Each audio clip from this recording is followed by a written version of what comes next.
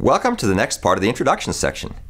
In this part, we'll continue our discussion of patterns and frameworks, outlining how they're used throughout Android to improve the structure and functionality of the concurrency and communication middleware used by its applications and services.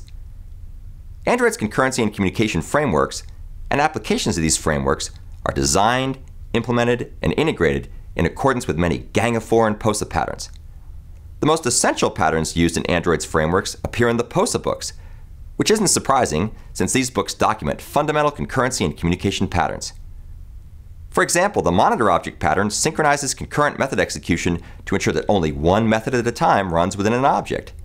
It also allows an object's methods to cooperatively schedule their execution sequences, as described at this link. Android applies this pattern to implement the linked blocking queue class in the Java util concurrent package, which provides a synchronized list of linked nodes that enqueues and dequeues elements in first in, first out, or FIFO order. The thread-specific storage pattern allows multiple threads to use one logically global access point to retrieve an object that's local to a thread, without incurring locking overhead on each object access, as described at this link.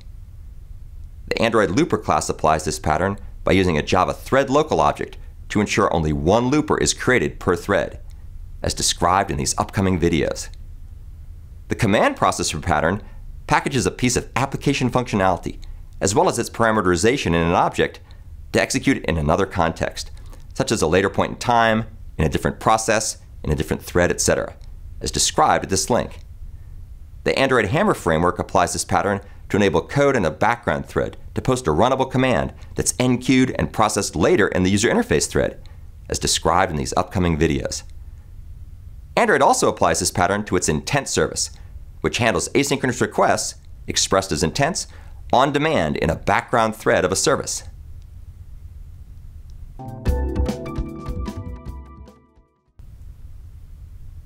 The active object pattern defines the units of concurrency on a component to be requests for service. These service requests are processed in a different thread than the client thread that invoked the requests, as described at this link. The Android Handler framework applies a variant to this pattern to enable a client in one thread to send messages to a handler running in another thread, as covered in these upcoming videos. Android also applies this pattern via its Binder communication framework, which uses messengers to enable message-based interactions across processes. The half-sync half-async pattern decouples asynchronous and synchronous service processing in concurrent systems by introducing two layers, one for asynchronous service processing and one for synchronous service processing, these layers communicate via one or more synchronized queues and simplify concurrent programming without unduly reducing performance, as described at this link. The Android Async Task Framework applies this pattern to allow one or more background threads to block synchronously while processing long duration operations, and then pass the results via a queue to the user interface thread, which only performs short duration, non blocking, or asynchronous operations, as discussed in these upcoming videos. The broker pattern connects clients with remote objects by mediating invocations from clients to these objects while encapsulating the details of the underlying inter-process communication mechanisms, as described at this link.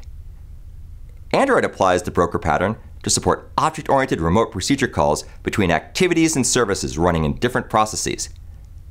The broker pattern is actually a pattern language that applies many other Gang of Four and POSA patterns, as described in these books.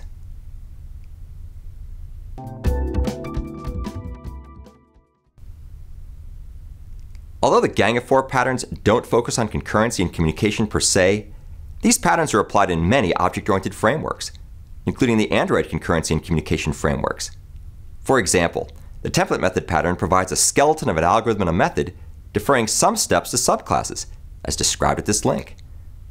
The Android handler thread class applies this pattern to allow subclasses to create their desired handlers by overriding the onLooper prepared hook method as shown in this upcoming video.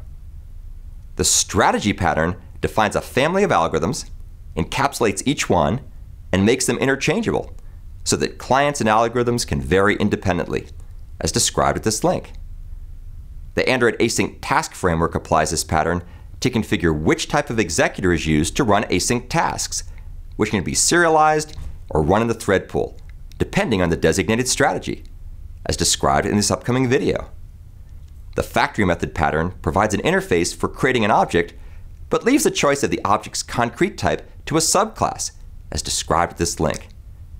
The Threadpool Executor class in the Android Async Task Framework applies this pattern to designate the subclass of thread factory used to create a thread whose name encodes the unique async task number, which serves as a debugging aid, as shown in this upcoming video. The frameworks in Android are built using some of the Java concurrency mechanisms in the Java Util Concurrent and Java Util Concurrent locks packages covered in an upcoming section.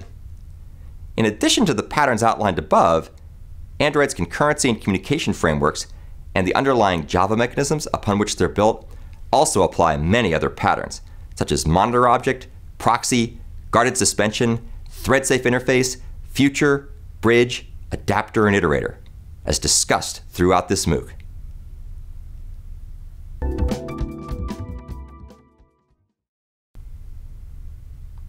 In summary, Android applies many POSA and Gang of Four patterns to help improve the structure and functionality of its concurrency and communication frameworks, as well as the applications and services built using these frameworks. These techniques, tools, and methods codify software design and architecture best practices in the form of systematically reusable implementation artifacts. Some of these patterns and frameworks focus on Android's middleware layers, whereas others focus on writing applications and services. Regardless of their scope, these patterns and frameworks help developers on the Android platform be more productive and write better quality software by allowing them to focus on their business logic at whatever layer of the Android stack they deal with, rather than wrestling with low level, tedious, and error prone concurrency and communication details. A great deal of the success of the Android platform stems from its pattern oriented, framework based architecture. Since Android's largely available as open source, it's an ideal environment for learning about and experimenting with these powerful forms of systematic reuse. I therefore strongly encourage you to download the Android source code available at this link. We'll analyze many examples from this codebase throughout the rest of this MOOC.